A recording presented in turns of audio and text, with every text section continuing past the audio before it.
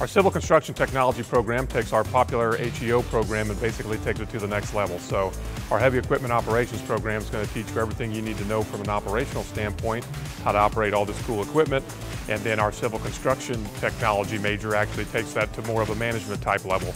Uh, the, the program includes courses such as construction estimating, construction management, and materials testing, which basically sets graduates up for more of a supervisory or management position uh, in the same industry that they would be doing the heavy equipment, equipment operations parts in. So the Heavy Equipment Operations Program is an awesome certificate program.